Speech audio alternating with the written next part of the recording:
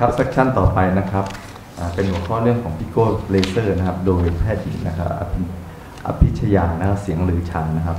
ท่านจบศิริราชพยาบาลนะครับ แล้วก็จบ King's College London นะครับ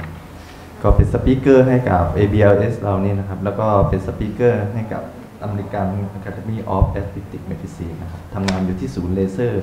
โรงพยาบาลเกษมราชประชาชนนะครับ ก็ขอเชิญอาจารย์ ได้ค่ะ สวัสดีค่ะ ขอบคุณพี่ต้นนะคะ แนะนำมาเต็มที่มาก ค่ะ ก็คุณหมอซูนะคะ คุณหมอพิชยาเสียงลือชานะคะ ก็กลับมาอีกทีนะคะ โอเค ก็อันนี้ก็เป็นคลินิกนะคะ ก็ทำที่เกษมราชประชาชื่นด้วย แล้วก็มีคลินิกส่วนตัวนะคะ แล้วก็รับคอนซัลท์หลายที่นะคะ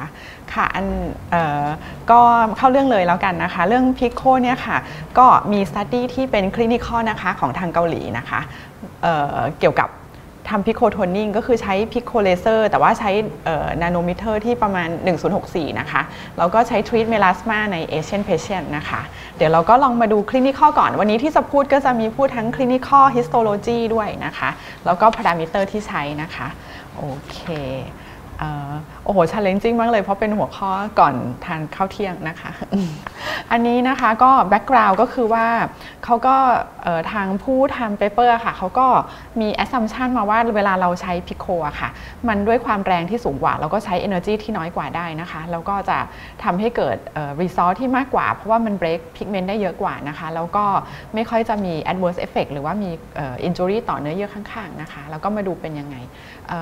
การศึกษาครั้งนี้นะคะเป็น retrospective นะคะ ก็คือดูคนไข้ตั้งแต่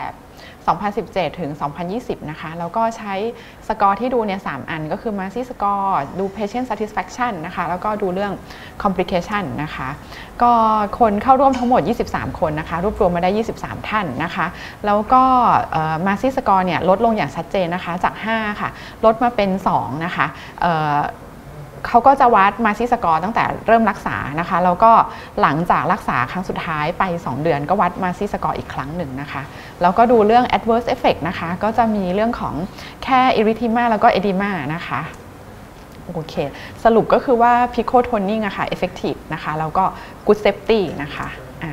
คราวนี้ ตรงนี้เนี่ยก็น่าจะมีประโยชน์นะคะ ทวนๆกันนะคะสำหรับของคุณหมอที่ทำเลเซอร์นะคะmechanism นะคะที่การเลเซอร์เนี่ยรักษา pigment อะเราจะเรียกว่า selective photothermolysis ก็คือตัวเลเซอร์อะค่ะเขาก็จะไป target pigment หรือเรียกว่า chromophore เนี่ยนะคะแล้วก็จากนั้นน่ะก็จะ heat up ขึ้นมาแล้วก็ burst ไปนะคะก็จะแตกไป อันนี้ก็เรียกว่า photo energy นะคะปกติเราก็จะใช้ Q switch หรือว่าเป็น nanosecond นะคะก็เป็นพวก Q switch Ruby Q switch Alexandrite Q switch Nd:YAG นะคะต่อมานะคะตอนนี้ที่เราจะพูดถึงกันในวันนี้ก็คือ Pico ตัว Pico อะค่ะตัว Pulse Duration น่ะมันจะไม่ใช่เป็นหลักนาโนเซคันมันจะเป็นหลัก Pico second ก็อยู่ที่หลักร้อยอย่างเงี้ยนะคะประมาณหลักเออหนึ่งร้อยสามร้อยอย่างเงี้ยค่ะแล้วแต่นะคะ คราวนี้เขาก็จะฮิตเออเขาจะไม่มันจะไม่มีเวลาในการฮิตอัพแต่ว่ามันจะเออพอเรา radiation ไปโคโมฟอลจับปุ๊บ มันก็จะเกิดเป็น mechanically burst ออกไปเลยนะคะ ดังนั้นเนี่ยเอ่อด้วยความที่เขาค่อนข้างจะแรงนะคะ ก็จะใช้พลังงานที่ที่น้อยลงได้ เพราะว่าใน same fluence อะค่ะเขาจะ burst pigment ได้มากกว่าตัว nanosecond หรือ Q switch ที่เราเคยทำทำกันมานะคะอ่าคราวนี้ลองมาดูพารามิเตอร์ที่ใช้นะคะ ก็จะเอ่อในใน clinical อันเนี้ยค่ะเขาใช้ที่ 1064 นะคะ เป็น Pico 1064 แล้วก็ spot size อยู่ที่ 7-10เอ่อ mm นะคะ แล้วก็ fluence อยู่ที่ 0.5 ถึง 0.8 joule per centimeter square นะคะ แล้วก็ยิง 10 เฮิร์ตนะคะ3 pass นะคะ เวลาเฮิร์ตต่ำแรงก็จะน้อย แล้วก็ pass น้อยก็ injury ก็จะน้อยนะคะ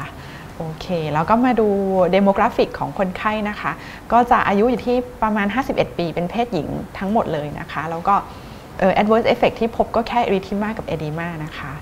แล้วก็อันนี้ก็คือ MASI ที่เล่าไปนะคะว่า significantly reduced นะคะ from 5 to 2 นะคะ วัดที่ประมาณ 2 เดือนหลังจากหลังจากการรักษาครั้งสุดท้ายนะคะ อันนี้เป็น clinical photo นะคะ ภาพบนจะเป็นภาพเมลาสมานะคะ แล้วก็ภาพแรกภาพล่างก็จะเป็นภาพที่เอ่อเคลียร์ค่อนข้างชัดนะคะ ที่ดูจาก clinical นะคะ โอเค อันนี้ก็จะมีทฤษฎีนะคะ อาจารย์สถาพรท่านก็กรุณาให้แทรกทฤษฎีเข้ามานิดนึงนะคะ ตัว selective photothermolysis นะคะ ก็คืออย่างที่เล่าก็คือว่า จะต้องมี chromophore นะคะ specific chromophore ในที่นี้ก็คือ melanin ที่จะเป็นตัวที่ดูดซับพลังงานนะคะของของเลเซอร์นะคะ ถ้าเป็นนาโนอย่างที่เล่ามันก็ต้อง heat up ก่อนเป็น selective photo thermolysis ก็คือเกิดความร้อนมีเวลาในการสะสมความร้อนนะคะ ในขณะที่ถ้าเป็น pico นะคะก็คือจะ heat up แต่ว่ามันไม่มีเวลาที่จะสะสมความร้อนเท่าไหร่ก็จะเกิดการ break down ไปเลยนะคะ จะเรียกว่า laser induced optical breakdown หรือว่า LIOB นะคะคำนี้เนี่ยก็จะพูดต่อไปในในสไลด์หลังๆอีกนะคะโอเค แล้วก็ตัวที่อย่างอื่นก็มีมี study อื่นที่เขาเคยทำเหมือนกันเป็นลักษณะ split face นะคะ ข้างหนึ่งเราทำ Q switch หรือ nanosecond อีกข้างหนึ่งเราทำ picosecond นะคะ ก็สรุปมาคล้ายๆกันว่า melasma เนี่ยมัน clear faster แล้วก็ better ก็คือดีกว่าแล้วก็เร็วกว่านะคะ เมื่อเทียบกับตัวนาโนนะคะแล้วก็อย่างที่เล่าไปว่า คือถ้าท่านที่ที่ทำเลเซอร์อยู่แล้วก็จะรู้ว่ามันจะมีอยู่ 2 chromophore first โครโมฟอร์กับ second chromophore นะคะ ถึงแม้จะเป็นตัว pico ที่ดีก็คือตัว 755 เนี่ยค่ะ second โครโมฟอร์ก็ยังเป็นฮีโมโกลบิน มันก็ยังมีปัญหาของเรื่องของ bleeding แล้วก็ PIH ได้นะคะ อันนี้ก็เป็นทฤษฎีที่อาจารย์ท่านกรุณาให้แทรกไว้นะคะให้อธิบายให้เห็นภาพนะคะ ก็คือตัวถ้าเป็นตัวPico นะคะ คือมันจะเป็นพลังงานที่โฟกัสมากนะคะ แล้วก็ไม่ได้เกิด เร็วมากไม่ทันที่จะสะสมความร้อนนะคะ แต่ถ้าเป็น photothermomechanical นะคะ มันจะมีเวลาที่มีการสะสมความร้อนนะคะ ก็เป็น photomechanical เทียบกับทางด้านทางในจอก็จะเป็นตัวซ้ายมือของเรานะคะ เวลาเรามองเข้าจอทางด้านขวาก็จะเป็นตัว photothermomechanical นะคะ อันนี้นะคะถ้าเป็น long duration นะคะ พอโครโมฟอร์เขาดูดซับ energy เขามีเวลาที่จะกระจาย thermal effect ออกไปข้างๆนะคะ ในขณะที่ถ้าเป็นพิโคเขาไม่มีเวลามันจะเกิดการ lock in thermal ก็จะ lock in อยู่ในโครโมฟอร์นะคะต่อมานะคะก็คือมันจะมีทั้งเรื่องของ stress หรือว่า vibration ที่ diffuse ออกไปด้วยนะคะ ถ้าเป็น longer duration หรือว่าเป็น nanosecond นะคะ มันก็จะมีเวลาที่จะมีการ diffuse vibration ออกไปนะคะ ในขณะที่เป็น Pico ค่ะ มันก็จะ lock จะเป็น straight lock อยู่ข้างใน แล้วก็เกิด injury ต่อรอบๆน้อยนะคะอ่าคราวนี้เพื่อให้เราได้เข้าใจเยอะขึ้นนะคะ เราต้องดู histology ค่ะ ก็อันแรก ๆ ที่ที่ทำออกมานะคะ ก็คือทำในปี 2016 นะคะ อันนี้ไม่ได้มีภาพให้ดูแต่เล่าเฉย ๆ เพราะว่าก็จะเล่าอธิบายเรื่องของ fractional lens array นะคะ อันนี้เขาทำ study กับ Pico 755 ซึ่งเป็นตัวแรกเลยที่ออกมานะคะ ของ Pico Laser นะคะ ก็คือ Pico 755 Alexandrite นะคะเขาจะใช้เลนที่เรียกว่า fractional defective fractional หรือ defective lens array นะคะยิงไป 3 energy level ด้วยกันนะคะ คือปกติเวลาเราพูดถึง fractional lens ะค่ะเราก็เป็นเลเซอร์บีมเดียวนะคะ แล้วเรามาตัด มาตัดให้ออกบ้างไม่ออกบ้างนะคะ แต่ว่าเป็น one focus นะคะ ในขณะที่ถ้าเป็น fractional lens array เนี่ยมันจะมาลักษณะคล้ายๆ small beam หลายๆ อันนะคะ แล้วก็แยกโฟกัสนะคะ อันนี้ก็เรียกว่า fractional lens array หรือว่า diffractive lens array ก็จะใช้ในตัว 755 เนี่ยค่ะ หรือว่า Pico Alexandrite นะคะเขาก็ยิงไป 3 3 energy นะคะ แล้วก็ใน skin type ที่แตกต่างกัน แล้วก็ melanin index ที่แตกต่างกันนะคะ ก็คือพบว่ามี cavitation หรือว่าเกิดการแบบเปลี่ยนแปลงในทุกๆ ในทุกๆ skin type ในทุกๆ level ของ melanin index นะคะ ก็เลยสรุปว่าในในการใช้ Pico 755 เนี่ยค่ะ เราเกิดการ improve นะคะของเนื้อเยื่อได้จริงเบลด pigment ได้จริงนะคะ หรือว่าเกิด LIOB ได้จริงนะคะ แล้วก็ severity ในการเกิด cavitation หรือว่าการ improvement ของ tissue เนี่ย ขึ้นอยู่กับระดับของ melanin index คือถ้ายิ่ง melanin index เยอะ ก็เกิด LIOB หรือว่า cavitation ได้เยอะนะคะ โอเคอ่าคราวนี้จะเป็นตัวไฮไลท์ละ highlight study ที่เอามาวันนี้นะคะ คือจะมีhistology ให้ดูก็จะเป็นการยิง Pico Laser 3 wavelength นะคะ อันที่ 1 ก็คือ 755 อันที่ 2 ก็คือ fractional 532 แล้วก็ fractional 1064 นะคะ ก็ 755 ก็เป็น diffractive lens array ที่เล่านะคะ อันนี้จะทำในคนไข้ 8 ท่านนะคะ ยิงเลเซอร์ไปที่บริเวณด้านหลังนะคะ แล้วก็ ก็จะเป็น 3 area นะคะ แล้วก็เทียบ energy ต่างๆ กันนะคะ คือสรุปคร่าวๆ ก็คือเกิด cavitation ทั้งหมด แต่ว่าเขาดูว่า เราพอเรายิงเลเซอร์ไปอย่างเช่น 532เนี่ยค่ะเราก็จะยิง 3 3 energy base นะคะแล้วก็ 1064 ก็จะยิง 3 energy 755 ก็จะยิง 3 energy นะคะเราก็จะถ่ายรูปที่ 15 นาทีหลังจากยิงเสร็จ แล้วก็ 24 ชั่วโมงหลังจากยิงเสร็จ ดูว่ารอยแดงเป็นยังไงนะคะแล้วก็มีการตัดไบออปซีดูนะคะผลเนี่ยก็คือพบว่ามันมีแวคคูโอเกิดขึ้นทั้งหมด แล้วก็มีเฮโมเรจด้วยใน 532 กับ 1064 แต่ว่าไม่ค่อยพบใน 755 เดี๋ยวจะอธิบายต่อๆไปนะคะ อันนี้ก็คือภาพ photo นะคะ หลังจากที่มีการ radiation ไปแล้ว เดี๋ยวค่อยๆ ดูที่ภาพแรกนะคะ ภาพแรกเนี่ยค่ะคือ A B C เนี่ยนะคะ คือความจะเป็นความแรงของเลเซอร์ที่ยิงลงไปนะคะ อย่างเช่น 532 ค่ะ A ก็จะอยู่ที่ 0.2 millijoule per dot อย่างเงี้ยนะคะ แล้วก็ B ก็จะขึ้นมาเป็น 0.24 C ก็จะแรงขึ้นเป็น 0.28 นะคะ 1064 ก็คือแรงขึ้นในตามลำดับเหมือนกัน A B C นะคะ 755 ก็แรงขึ้นตามลำดับนะคะ คือพบว่าที่ 15 นาทีอะ755 นี่เฟดไปเร็วมากเลย อิลิทิมาไม่ค่อยเจอ เพทิเคียบไม่ค่อยเจอนะคะ ในขณะที่ 532 กับ 1064อะค่ะ อิลิทิมาไปเฟดที่ประมาณ 24 ชั่วโมงนะคะ โดยที่ 1064อะจะเฟดช้าสุดเลยนะคะ โอเคอ่าคราวนี้เราก็ไปดู histology นะคะ อันแรกที่เอามาให้ดูนี่ก็จะเป็น biopsy ของ 532 นะคะ ก็คือพบว่า 532 เนี่ยมันเกิดแวกคือเรียกว่ามี cavitation ก็ทั้งหมดเลยนะคะะภาพแรกนะคะที่ดูก็คือ 532 นะคะ จูนที่น้อยๆ ก็คือ 0.2 มิลลิจูลนะคะ MI นี่คือ melanin index อยู่ที่ 11 นะคะ ก็เรียกว่า low นะคะ แล้วก็ skin type 2ก็คือต่ำๆนะคะ ถ้า melanin index สัก 12 ขึ้นไปเนี่ยเรียกว่าค่อนข้างก็กลางๆนะคะ แล้วก็ 19 30 40 ก็คือค่อนข้างจะสูงนะคะ skin type ก็คืออย่างที่เราเข้าใจกัน 2 3 ก็อยู่ที่เรียกว่าขาวนะคะ พอ 4 5 อะไรขึ้นไปก็จะเป็นเริ่มเป็น Asian skin ละนะคะ ก็ เราก็พบว่าที่ 532อะคะ่ะมี bleeding ทั้งหมดเลยนะคะ มี area ของ epidermal necrosis นะคะ ตัว bleeding เนี่ยค่ะ มันจะค่อนข้างเห็นในกลุ่ม fair skin แล้วก็ low energy ด้วย ก็คือ MI ต่ำๆ12 15 ยังเจอนะคะ melanin index ต่ำๆนะคะ แต่ถ้า melanin index สูงขึ้นนะคะ เพราะว่า hemorrhage ไม่ค่อยเยอะ อันนี้เขาอธิบายว่าตัว melanin นะคะเขา absorb energy ไว้ แล้วมันก็เลยไม่ไม่ไปถึงตัว blood vessel superficial blood vessel นะคะ โอเคอ่าต่อมาดู 1064 นะคะ 1064 เนี่ยแรงที่สุดเลยเท่าในในบรรดา 3 เว็บเลงนะคะ ก็จะพบ cavitation ทั้งหมด แล้วก็พบ bleeding คือทั้งหมดเลยทั้งทุก skin type แล้วก็เกือบจะทุก melanin index เลยนะคะ อย่างเงี้ยโอเคส่วน 755 นะคะ 755 ก็เป็นไปตามคาดนะคะ ก็คือเซฟมากเลย เห็น cavitation ในในทุกๆความ energy ไปนะคะ แต่ว่าเรื่อง bleeding เนี่ยพบน้อย แต่ว่ามีพบนะคะจะพบที่ MI ต่ำๆ melanin index ต่ำๆก็คือเพราะว่ามันมี first เป็นมันมี chromophore สองตัว มีทั้งตัวเมลานินแล้วก็ตัวทั้งเฮโมโกลบินใช่ไหมคะ ใน fair skin นะคะตัวเฮโมตัวเมลานินอะมันจะน้อยก็ energy มันจะไปลงที่ตัวเฮโมโกลบินนะคะก็พบเขาก็อธิบายว่าอันนี้มันทำให้เราพบ bleeding ได้ก็จะอยู่ที่ประมาณ MI melanin index ประมาณ 11 นะคะ ถ้าเป็น 12 ไปแล้วก็ไม่ค่อยจะพบ hemorrhage แล้วนะคะสำหรับ 755นะ อะอันนี้ก่อนที่เราจะไปสรุปผลนะคะ เราก็มาดูตรงนี้ทวนกันอีกทีหนึ่งนะคะ อันแรกนะคะ อันนี้ก็คือตัว absorption index นะคะ ก็อย่างที่เล่าไปว่าเวลาเรายิงเลเซอร์ค่ะ เราก็นึกถึง chromophore นะคะ เราก็จะมี first กับ second ที่สำคัญ อันแรกก็คือ first chromophore คือเมลานินนะคะ อันที่ 2 คือเฮโมโกลบินนะคะ แล้วอันนี้จะเป็นตัวเทียบสัดส่วนนะคะ ระหว่างสัดส่วนในการดูดซับดูดสำหรับ532อย่างเงี้ยสัดส่วนในการดูดซับ ของพลังงานของเมลานินกับเฮโมโกลบินมันใกล้กันมากนะคะอยู่ที่ประมาณ 2.4 ต่อ1นะคะรองลงมาจะเป็นตัว 1064 จะอยู่ที่ 16 ต่อ 1 สัดส่วนในการดูดซับเมลานินกับตัวเฮโมโกลบินนะคะ แล้วยาวที่สุดเนี่ยจะอยู่ที่ 755 จะอยู่ที่ประมาณ 54 ต่อ1นะคะ ตัวนี้เขาจะอธิบายว่าเวลาเราเลเซอร์ไปอะค่ะ แล้วเราเกิดการ bleeding นะคะก็คือมีตัวฮีโมโกลบินนะคะมารับ Energy ด้วยตัวนี้ซึ่งซึ่งมันก็จะพบมากในเท่าที่เราดู section มาก็จะพบมากที่ 532 กับ 1064 Pico ใช่ไหมคะ ซึ่งเป็น bleeding บริเวณเนี้ย dermo epidermal junction เราพบ cavitation เยอะ แปลว่ามันมีการ absorb ทั้งของส่วนของเมลานินแล้วก็ส่วนของเฮโมโกลบินนะคะ ซึ่งการที่เราเห็นอย่างนี้ยเราก็ต้องนึกถึง PIH นะคะ เมื่อมันมี vascular damage นะคะ อุ้ยอ๋อ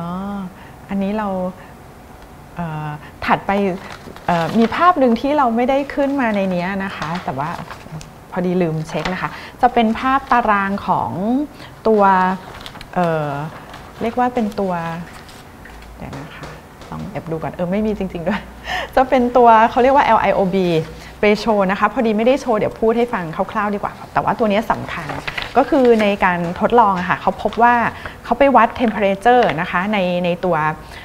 superficial blood vessel ก็คืออยู่ที่บริเวณ dermo epidermal junction เนี่ยค่ะ คือพบว่าในกลุ่ม 532 เนี่ย temperature อะมัน rise ขึ้นไปเป็น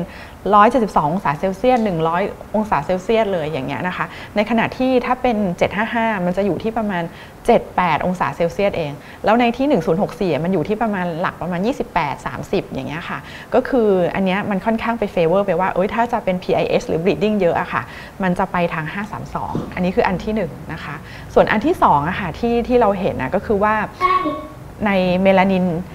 อินเด็กซ์ค่ะคือถ้าเป็นในกลุ่มสมมติในกลุ่ม 532 ด้วยกันเนี่ยเรายิง 3 Energy ใช่ไหมคะแล้วก็มีเปอร์เซ็นต์เมลานินน่ะต่างกัน อาจจะอยู่ที่ถ้าเป็นเปอร์เซ็นต์เมลานินสูงๆ คือประมาณสัก 40 กว่าเนี่ยค่ะจะพบว่า Energy มันจะน้อยอ่าอย่างเช่นในใน 532 เนี่ยเราวัดไปเนี่ยมันจะเจอร้อยกว่าร้อยประมาณสัก 170 100 แล้วก็ 40อ่าถ้าตัว Temperature ขึ้นมาสักประมาณ 40 องศาเซลเซียสเนี่ยเมลานิน Index ตรงนั้นมันจะอยู่ที่ประมาณสัก 43 แต่ถ้าถ้า Temperature อยู่ที่ประมาณสัก 200อะค่ะเมลานิน Index มันจะไม่สูงมันจะประมาณสัก 2%อย่างเงี้ยค่ะเนี่ยแล้วก็ เขาก็จะมีอีกตัวหนึ่งที่เป็นค่าที่ดีก็คือเรียกว่า LIOB threshold นะคะ คือในการศึกษาเนี่ยพอเราเห็นเราเห็นแบบพารามิเตอร์ของตัว LIOB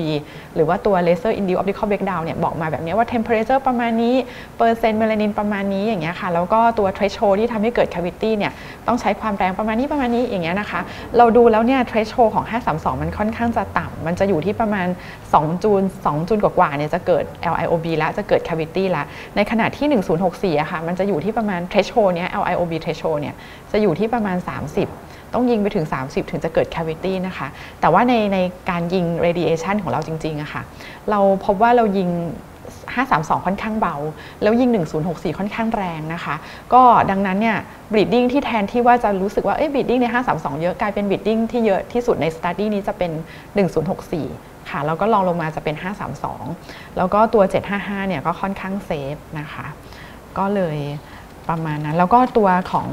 ทิชชูดาม g e ข้างๆ ก็ 755 ก็ค่อนข้างน้อยนะคะ อันนี้ก็จะสรุปได้แล้ว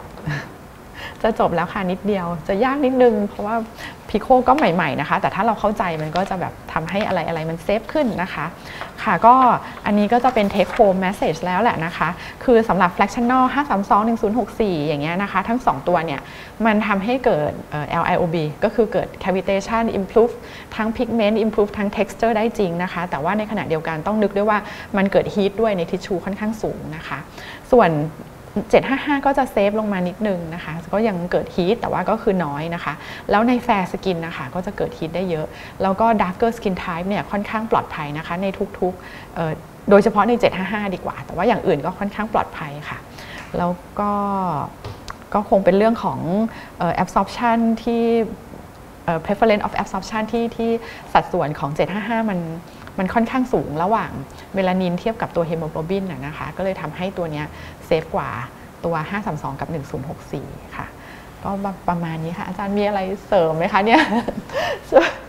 ก็ใหม่ๆ ค่ะเสริมก่อนจะให้ผมพูดก่อนหรือว่าให้คนอื่นอ่าในฟลอร์ถามคำถามก่อน ท่านใดอยากถามคำถามสามารถถามได้เลยนะคะ อนนี้ยังค่ะอาจารย์เรียนเชิญอาจารโอย์เคค่ะถ้าอย่างนั้นอ่าผมอยากจะอธิบายนิดหนึ่งเพราะว่า picosecond laser นี่เป็นอะไรที่ค่อนข้างฮิตมาก แล้วก็ใช้กันเยอะมากเอ่อที่คลินิกของเราเนี่ยที่สถาบันของเราเนี่ยได้รับ refer คนไข้ที่มี complication จาก picosecond นี่เยอะแยะแทบทุกวันเลยนะฮะในช่วงหลังๆเนี่ยเพราะว่าการที่โฆษณามาก นะแล้วก็ความเข้าใจเรื่อง picosecond laser เนี่ยค่อนข้างน้อยออขออธิบายนิดนึงเกี่ยวกับสิ่งที่สปีกเกอร์ได้พูดไปเมื่อกี้ ในเรื่องของเอ่อ theory ของเลเซอร์ในจุดนี้นะฮะสิ่งที่อยากจะพูดเรื่องแรกก็คือเรื่องของเอ่อ thermal lock-in กับ stress lock-in นะฮะ Thermal Lock-in กับ Stress Lock-in เนี่ยใช้ใน เลเซอร์แทบทุกกลุ่มนะฮะ เพราะว่าเลเซอร์ที่ยิงออกมาเนี่ย มันมีทั้ง photothermal และ photoacoustic ด้วยกัน เพียงแต่ว่าอะไรจะมากอะไรจะน้อย แม้แต่ว่า low laser level ก็ยังมี photoacoustic effect ซึ่ง photoacoustic effect ใน low energy level เนี่ยเขานำมาใช้ในในในอ่า lab ต่างๆ ในทำเครื่องมือ lab ต่างๆ นี้ใช้ photoacoustic ซึ่งพลังงานน้อยมาก แต่มันก็เกิด photoacoustic นะเวลาเรายิงเลเซอร์ไปกระทบทิชชูเนี่ยทิชชูนี่ก็จะส่งคลื่นเสียงออกมา และคลื่นเสียงเนี่ยถูกนำมาใช้ในการในเรื่องของ lab เช่นในการทำ spectrophotography อะไรเนี่ย spectrometry อะไรพวกเนี้ยมากมาย อันนี้ก็เป็นสิ่งหนึ่งที่เราจะต้องเข้าใจว่า ไม่ว่าจะเป็นเลเซอร์ชนิดไหนก็มีทั้งสองแบบ แม้แต่ picosecond laser เองถึงถึงแม้ว่า pulse duration จะสั้นมากนะเเป็นพันเท่าของ nanosecond เนี่ย แต่มันก็มี thermal effect เหมือนกัน ผมได้อธิบายให้กับ country manager ของบริษัทที่ขาย picosecond laser ว่าทำไมมันถึงมีนะเพราะว่าการที่เสียงวิ่งด้วยความถี่สูงเนี่ย มันก็จะทำให้เกิดการเสียดสีกับเนื้อเยื่อ การเสียดสีเนี่ยทำให้เกิดให้ให้เกิดความร้อนออกมา เพราะฉะนั้นเวลาใช้ก็ต้องพึงระวังว่าเราจะใช้เฉพาะโฟโตอะคูสติกไม่ใช่ และก็ให้เฝ้าระวัง photothermal side effect ของมันด้วย อันนี้อันที่หนึ่งนะทีเนี้ยใน nanosecond laser นี้มี photothermal effect มาก เพราะฉะนั้นมัน จึงมีสิ่งที่เราเรียกว่า thermal thermal lock-in เพราะฉะนั้นก็พยายามรักษาให้ thermal energy เนี่ยโฟกัสอยู่ในที่ target ไม่ให้มันกระจายออกไปข้างนอก อันนี้ก็คือนิยามของการใช้ thermal lock-in ส่วนใน stress lock in ในส่วนที่เป็น photoacoustic มาก ๆ เนี่ย มันก็จะทำให้เกิด tissue stress และ tissue stress เนี่ยจะต้อง จำกัดอยู่ใน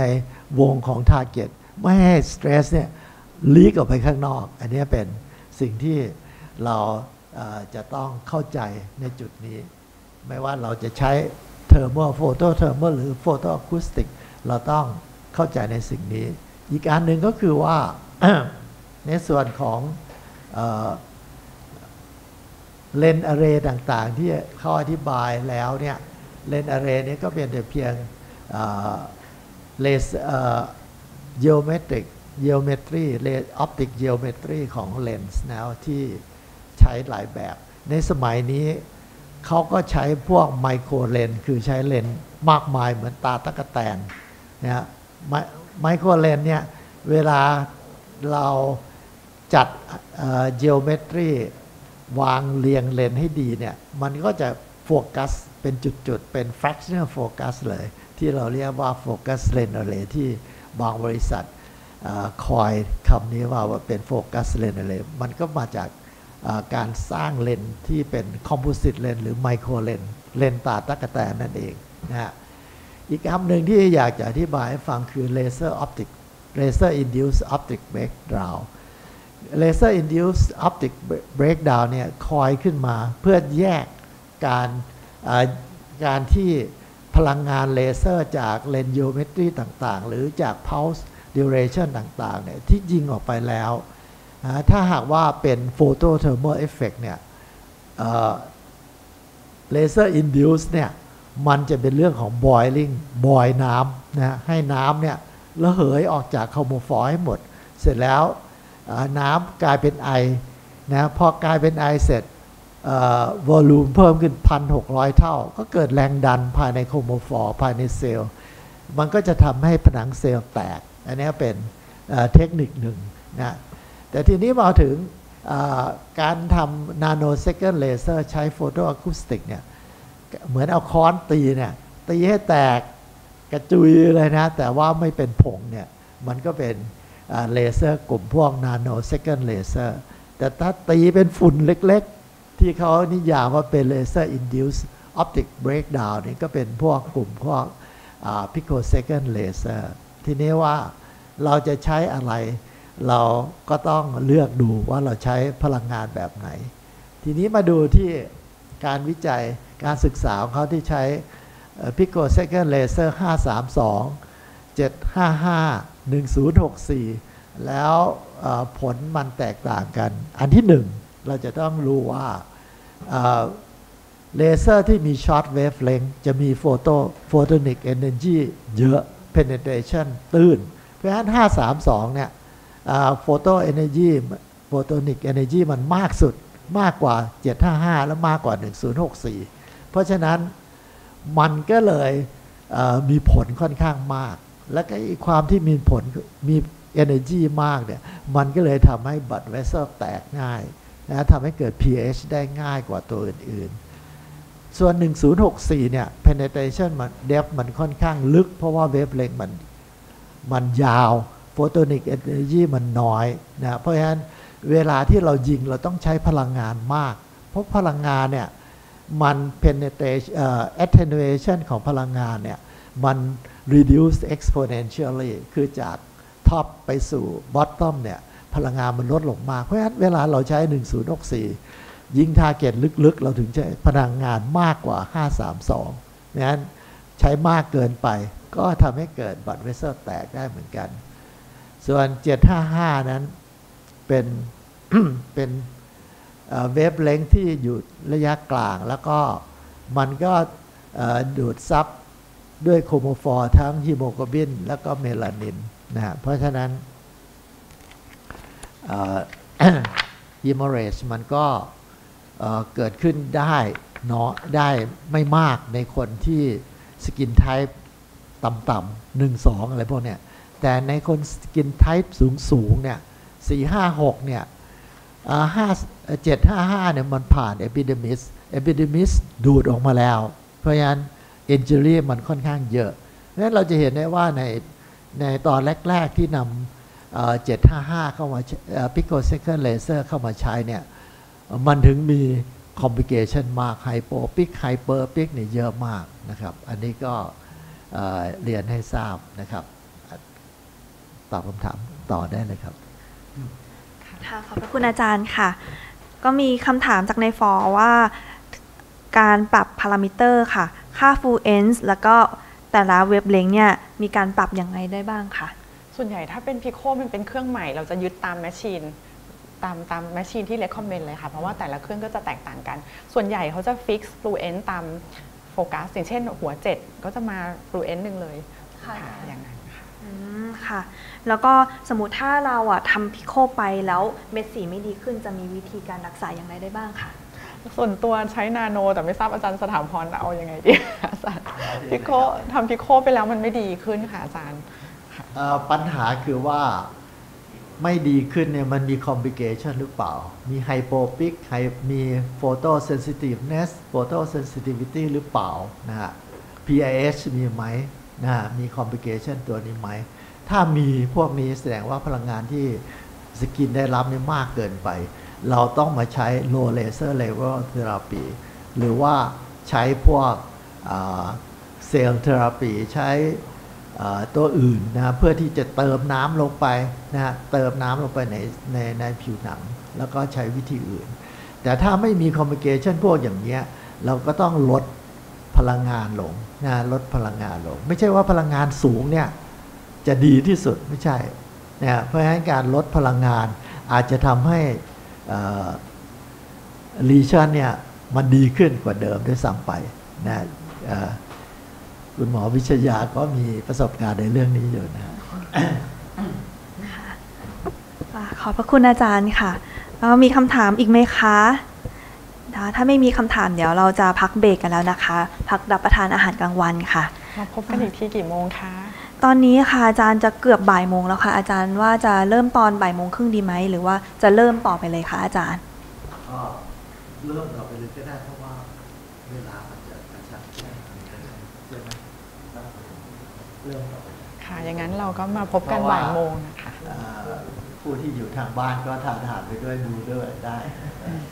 ได้ค่ะงั้นเราก็เซสชันถัดไปเริ่มบ่ายโมงตามปกตินะคะ ขอบพระคุณอาจารย์มากเลยค่ะ ขอบพระคุณที่รับฟังค่ะขอขอบพระคุณคุณหมอซูค่ะ อภิชยาค่ะพูดได้ดีมากๆเลยค่ะ แล้วก็เป็นการอัปเดตเทรนด์ใหม่ในการทำเลเซอร์ด้วยค่ะ ด้วยเลเซอร์ตัวใหม่ Pico Second Laser แล้วก็จะรู้ว่าวิธีการระวังแล้วก็วิธีการใช้เครื่องเป็นอย่างไรได้บ้างค่ะ ขอบพระคุณค่ะ